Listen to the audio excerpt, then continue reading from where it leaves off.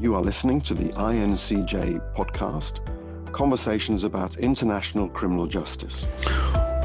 Welcome to number four in a series called the COVID Leadership Challenge. I'm John Scott, and this is an INCJ podcast and YouTube. COVID 19 is presenting a unique challenge to frontline services, not just in health and, and social sectors, but in criminal justice too. At INCJ, we wanted to find out how leaders internationally were handling the issues around COVID 19. So we've started a conversation with criminal justice leaders to ask about their experience of the crisis. Our hope is that sharing answers will help find solutions and fresh ideas. If you want to follow the series, you will find it on our website at criminaljusticenetwork.net or on Twitter at INTCG Network. Now, let me introduce Michael Nail, who is the Commissioner of the Georgia Department of Community Supervision and is the current president of the National Association of Probation Executives in, in America. I think they call it NAPE. Now, let me welcome Michael. Tell us where you're based. Thank you very much, John, for having me. It's a pleasure to be with you. I'm based out of Atlanta, Georgia. And are you working from home at the minute? Right now, uh, I am in the office, which has been a rarity since March. Now, tell us a bit about Georgia. What's the, what's the population of the state? Uh, population is about 13 million. Okay, and your current job exactly? Currently, I'm commissioner of the Department of Community Supervision. We are responsible for community supervision of all adult felons, either in a probation or a parole status. Now, are all states in America structured this way, or are you a bit different to other states? Uh, we're a bit different. We're one of few where our agency focuses specifically on community supervision. More times than not, you're going to find the supervision arm associated with the Department of Corrections or parole one of the the other. So that's what makes Georgia a little bit unique in this. And we're new since 2015 is when our agency was created.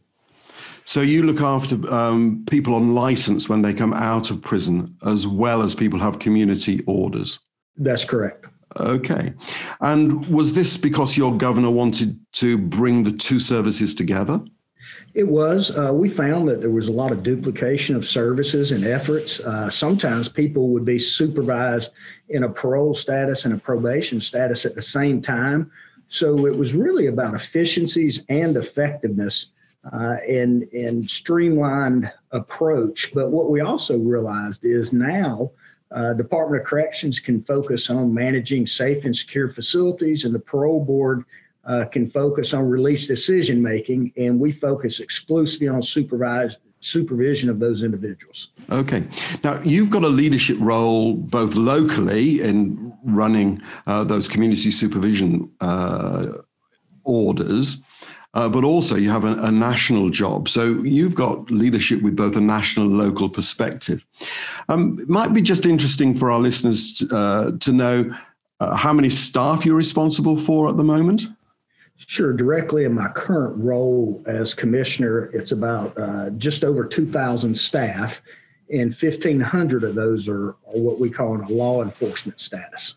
Okay, so that's um, your day job is a big job. Tell us a bit about how NAPE operates. What, sure. what, what does that do? NAPE, of course, the National Association of Professional or Probation Executives, uh, is just as it t- the title implies. It is a group of uh, executives that specialize in probation or serve in that capacity. Right now, we have about 150 members, uh, which include about 24 different organizations. And uh, we represent, or there's representation from about six countries. Okay. And so that would be all across North America, or do you include South America too? Uh, North America. Okay. And uh, you share issues relating to management and leadership? We do. We share uh, information relating to management and leadership. We share information regarding trends in the populations we're responsible for supervising. Uh, we share new and emerging research uh, that that is being done, uh, and we also uh, share in making sure that we have a streamlined message of of what the business of probation supervision should be about. Okay, is there a lot of variety in the way that probation is delivered across the states? I think there's a, a, quite a bit of variety. You have some that are, are state level. Uh, you have, of course, some that are federal level. You have some that are county level. But I, I really believe at the end of the day, the roles and responsibilities are about providing services to the individuals under our supervision and, and trying to achieve positive outcomes for them. It may be set up structurally different uh, and there may be different nuances, but at the end of the day, uh, I, I, believe everyone would agree that it's about making individuals, uh, giving them the opportunity to get on the right path and become uh, law abiding, productive citizens. I, I, get it. Okay. Now, 2020 has been a year like no other. Um, shall we start by looking at what changes uh, COVID 19 has caused for you at NAPE level? Um, because you've not been able to get together. So, how what impact has that had on NAPE? Well, I think from a NAPE perspective, one thing that we've got to realize is this is new to everyone.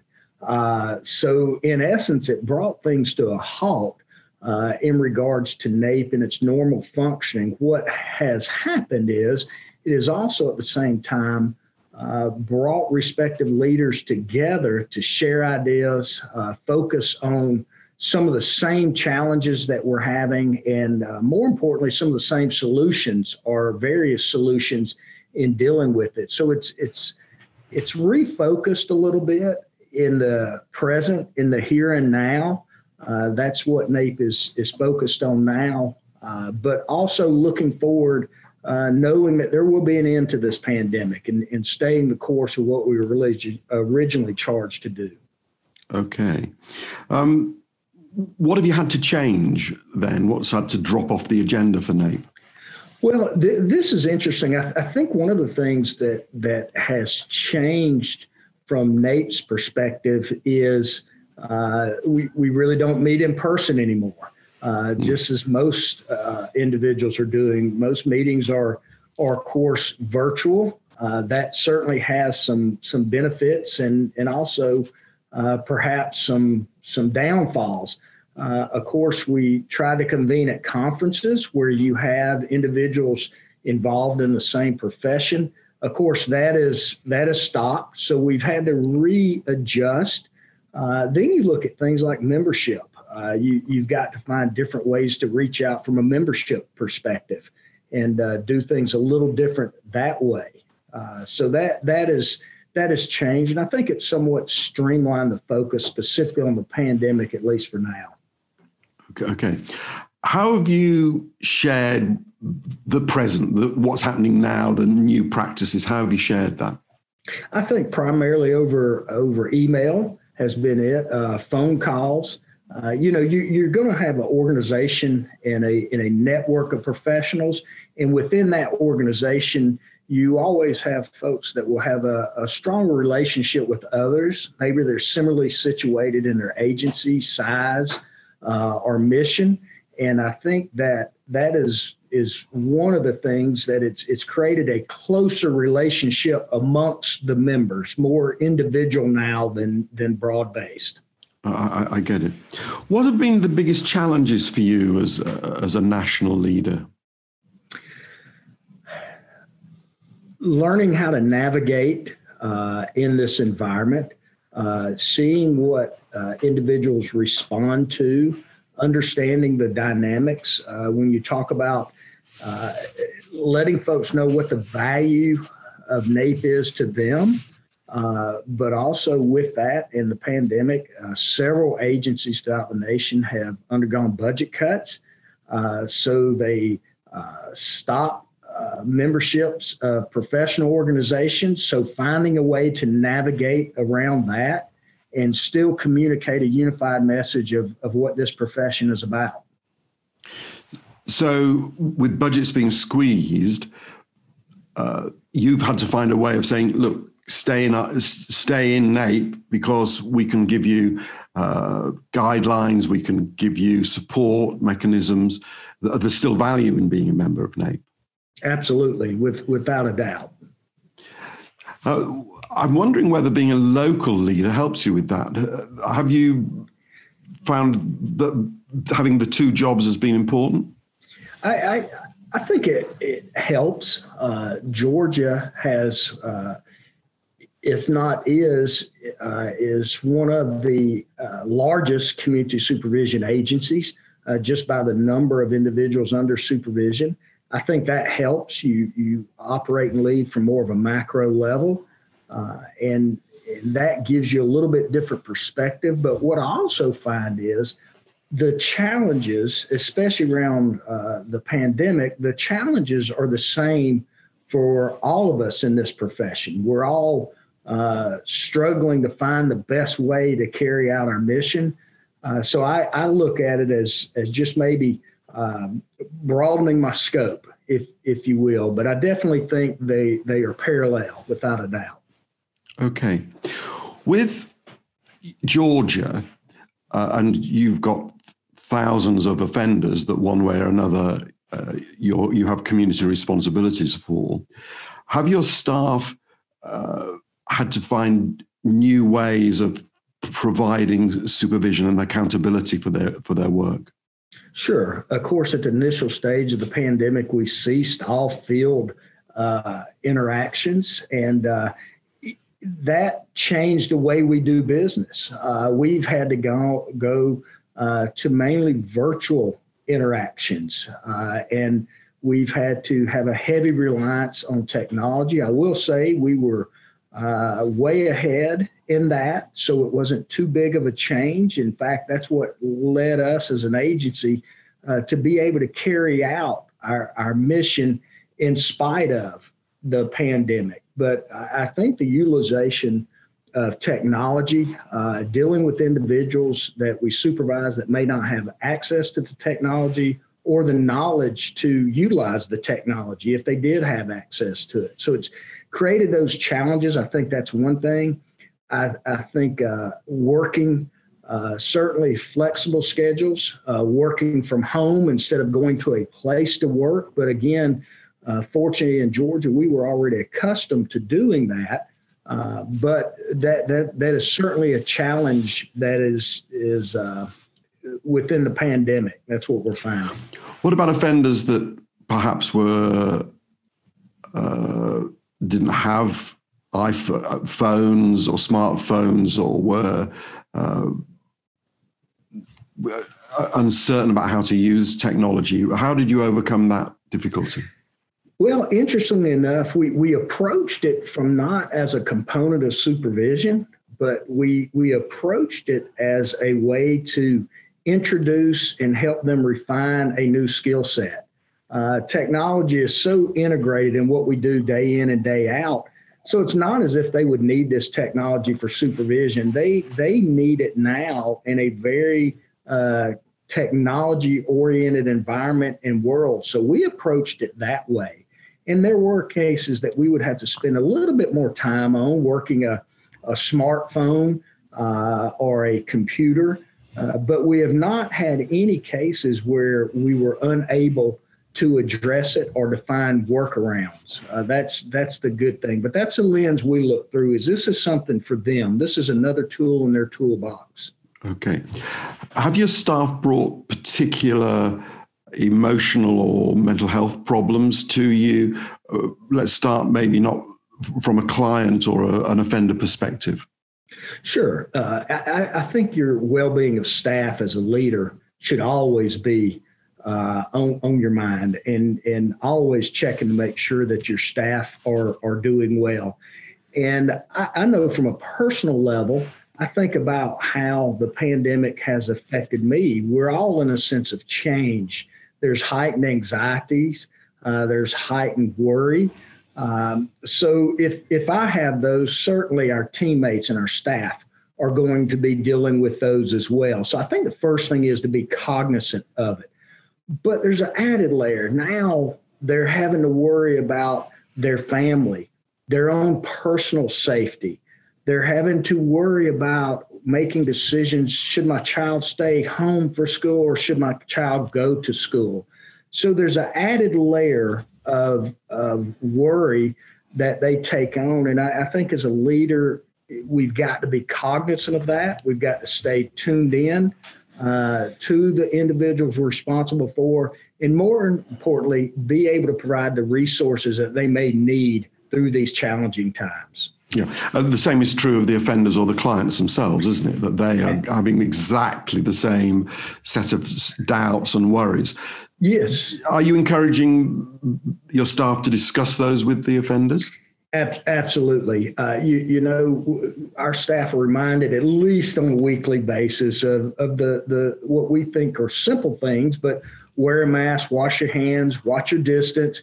Uh, we need to convey those that we supervise uh, to the same things. I think we've got a, a responsibility to help to inform them, to educate them, to make sure they have an understanding, but also to ask them how they're doing during this pandemic and how they're adjusting and how they're coping. So I, I think that's the one thing is is this pandemic is applicable to everyone. And just because they're under our supervision, that certainly does not mean uh, they're immune from the same feelings we have. Do you, do you think it's affecting the working relationship between uh, uh, probation or parole staff and their uh, clients? Interestingly enough, I, I, think it's affecting it, but I think it's affecting it in a positive way uh, because you're having more conversation. We're all going through this together. And I think that's what makes this totally unique is that the challenges our officers are having in their personal life with the pandemic is the same challenge that these offenders under our supervision are having And so there's a, there's a bit of commonality there. And then when we talk about the video interactions, uh, interestingly enough, we're spending more time with our offender. When we were looking at field contacts, on average, it was about six minutes uh, because there are so many distractions around. Well, field interactions, we're finding out we're spending about 23 minutes. So there's more engagement, there's more dialogue. And then we surveyed the actual individuals under our supervision and they revealed the same thing through the survey that they actually felt a better connection with their officer. They felt that the officer was more in tune to their issues and concerns and what they were going through, not just with the pandemic, but but overall. So they're getting more time face to face through their iPhone or through their uh, computer than they were if they were doing uh, a visit at the office or or at the home. Yeah, absolutely, and it's created more time for the officer to do that. Uh, before, let's say it, it, was not uncommon, certainly in rural parts of the state, where somebody would drive 45 minutes to make a, a contact with an individual. Well, driving back, that's an hour and a half to make that one six minute interaction. And now, in that hour and a half span, you can have interaction, quality interaction with easily four, five, six individuals under supervision. So it's created more time for the officer to be more effective. Yeah, and presumably better for the environment as well. Yeah, absolutely. Okay.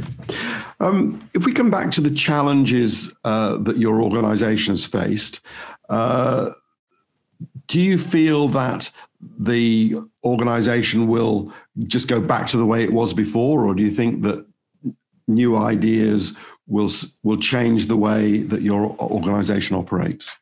That's a very good question, John. I, I think I, I, had an individual on our team put it like this: This is not the new normal. This this is a new opportunity. And there are things associated with the pandemic that actually we call silver linings. Uh, for the example that I just gave you with video interactions, that's extremely positive.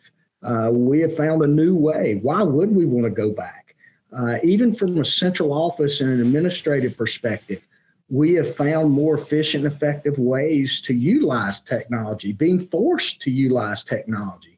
So when you're still accomplishing the same thing uh, from home, for instance, and maybe even more efficient or effective, why would we be paying so much lease or rent space uh, for brick and mortar. Uh, so there are opportunities because then perhaps what if you reduce that and reinvest it in programming for the individuals under supervision?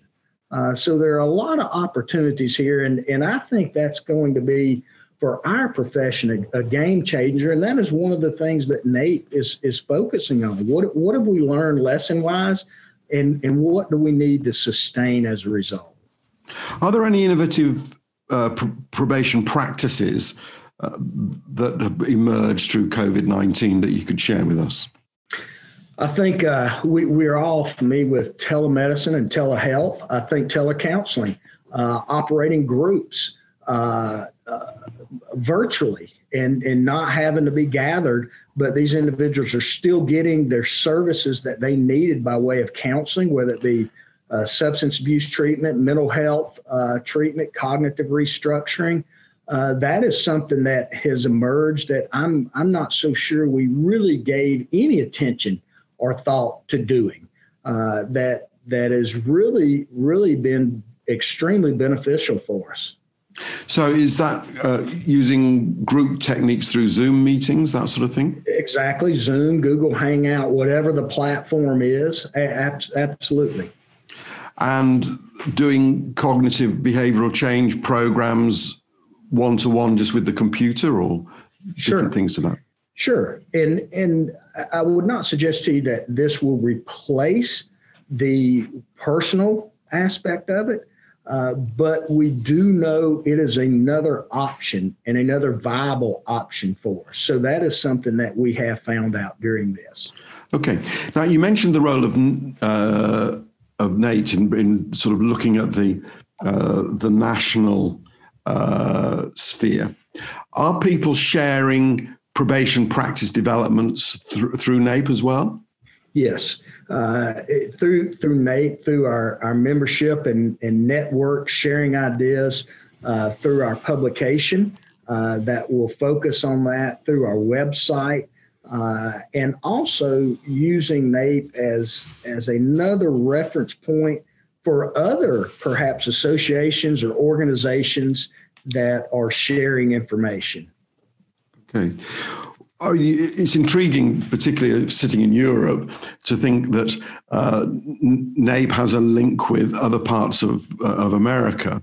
So, your Canadian colleagues, are they handling uh, COVID in a different way? Because I don't think they have as intense experience uh, of, of the pandemic as you're ex- having in, in America. Right. And, and I'll tell you, John, I, I, would be less than honest if I told you that there has been enriching dialogue uh, with other countries. Uh, I think right now our focus has been on the states, uh, but uh, I, I, think there is an opportunity to learn from those other countries. Uh, but I think also it presents a challenge because other countries are perhaps dealing with the pandemic in a far different way, whether it's lockdowns, shutdowns, mandates. Uh, so I think that's why we just have, have gravitated to what our country uh, here in the States are, are going through. Right. To a certain extent, America is a, is a, is a a continent in itself, isn't it?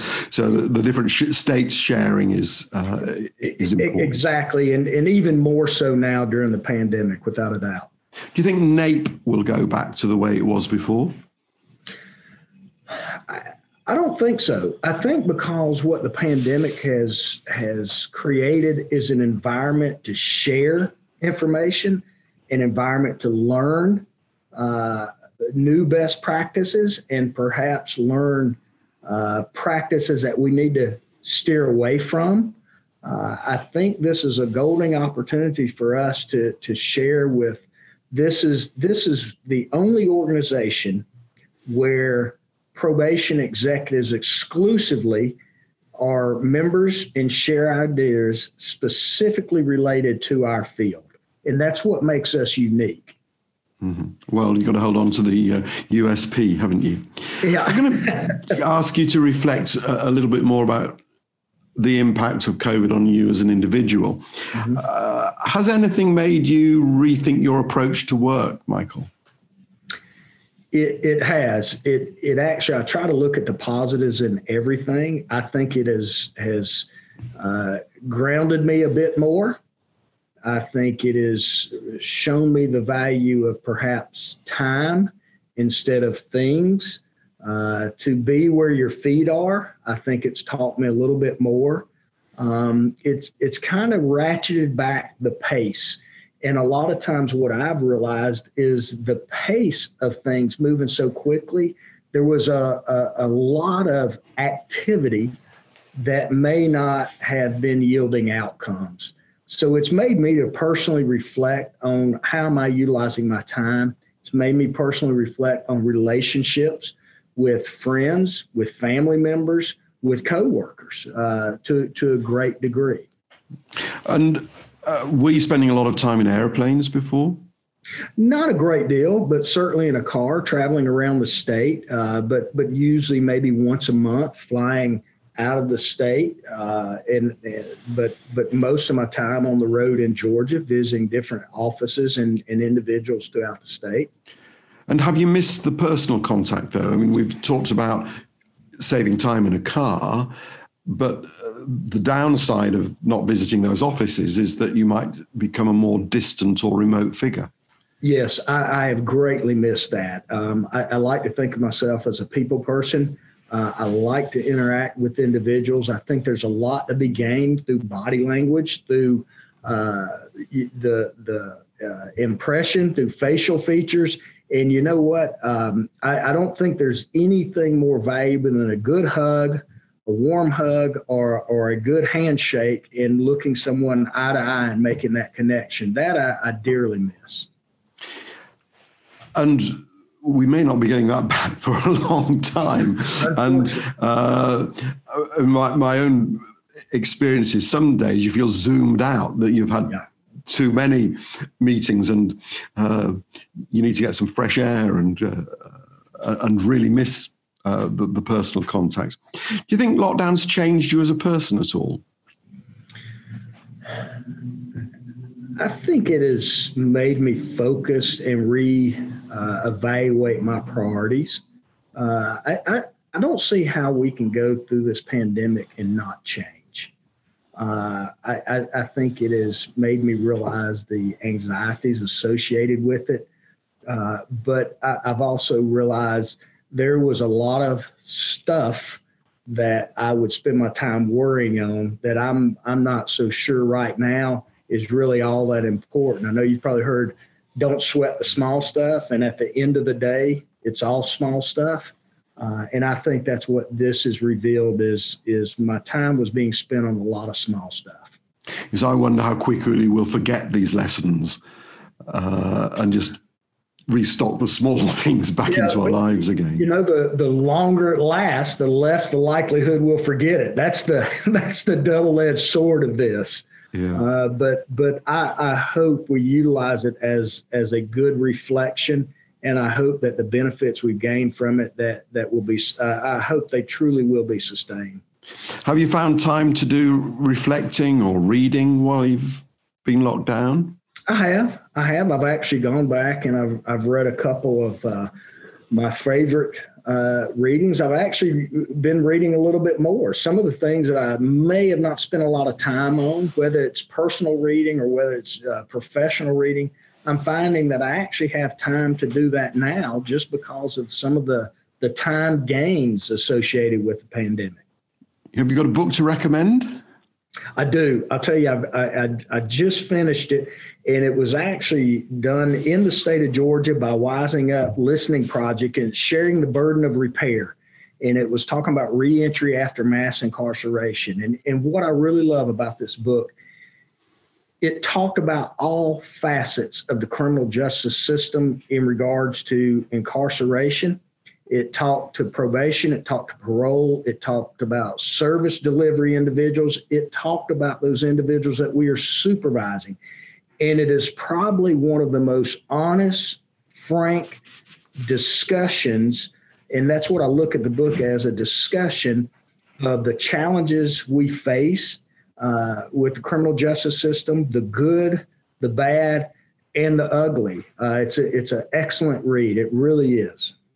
Okay, well, we'll put a we'll, we'll put a reference up on our website, and we'll, we'll expect sales to shoot through the roof, uh, and, and, hope that it travels uh, uh, uh to a, a, European as well as an American yeah. audience. Well, I don't I don't gain a thing from it other than the fact that I, I, I, really enjoyed it and I thought it painted a very good picture. All okay, give us give us give us the reference again. Uh, this is uh, sharing the burden of repair, yeah. reentry after mass incarceration, and it was a project done by a Wising Up Listening Project. S- sounds like we can't afford to miss that. Now, I mean, while you've been doing your reflection, have you had a, a question or a challenge that you would like to share with other leaders? I, I, think I am always struggling and and reflecting on am I spending enough time giving the necessary attention to my teammates, to those that we're supervising, to myself, and certainly to my family.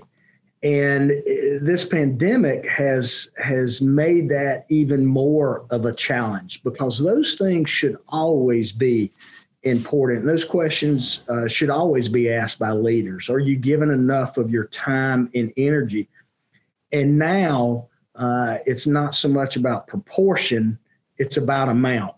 Uh, that's that's what I find challenging from a from a leadership perspective there's a danger, isn't there? If if you talked about the small things and the stuff that gets in a way that you can spread yourself too thinly. Easily. Uh, and the other thing that also I think is hard is that if you're used to say working in a team and you you're either in the same office or you see each other a lot, there's lots of business that you can react just by being around each other, right. and you you've got to attend that. Uh, relational exchanges just are yes you've got to put t- time into that in a way that you can't just if you're sharing a building. Yeah, that's right. It's it's got to be a focused investment. That's yeah, yeah. A quick the quick coffee is not quite so easy if you're 150 miles away, is it? No, that that's exactly right. Not or if there's an ocean between us, like there is today. That, that makes it even more difficult. Okay, so your challenge really is: Are you spending enough time with the team, maybe on yourself and also with your family. So right, we'll, we'll pass that on. John, and, what, go on. One thing I did want to mention that when you talk about changing uh, the profession, here here's one other that I think is a very important observation. Okay. We really f- started focusing on the utilization of our our county jails and locking people up for technical violations. Uh, the jails were in a unique position where uh, you know, it, they they it was unsafe during the pandemic, perhaps, uh, and the last thing they needed was us to contribute to it. And what we found is a lot of times we were, my phrase, slow walking technical violations and perhaps giving individuals an extra second or third chance uh, regarding technical violations. And I am interested in seeing uh, that it, it, how positive that is because I do believe it's it's making a difference. It's forcing us to work with them more instead of just using a custodial setting as a quick fix or a punishment tool. So I am interested in in seeing how that is fair. If it's unsafe to be in a prison, let's slow walk more people in the community. That sounds like a right. that sounds yeah. like a challenge. And if you, if we can work with people better in the community, well, let's let's hold on to them. Absolutely. Okay. Absolutely. Right. Well, we're getting towards the end of our time, Michael. So thanks a lot. But have you got any um, COVID nineteen advice for your NAPE membership as we sign off? I, I do. Stay positive. Know that this too shall pass, and know that you're not in it alone. Well, that sounds like a really good way of finishing our time together. Thanks very, very much indeed uh, for sh- spending this time, Michael. Uh, I also want to thank our listeners for tuning in. I hope that they will stay safe and hope also that you can join us another time. I want to say goodbye and thank you very much these podcasts are available on your normal provider via iTunes or Google and under INCJ podcasts. Goodbye and thanks again. You have been listening to the INCJ podcast, Conversations about International Criminal Justice. To find out more, go to our website at criminaljusticenetwork.net or follow us on Twitter at INTCJ Network.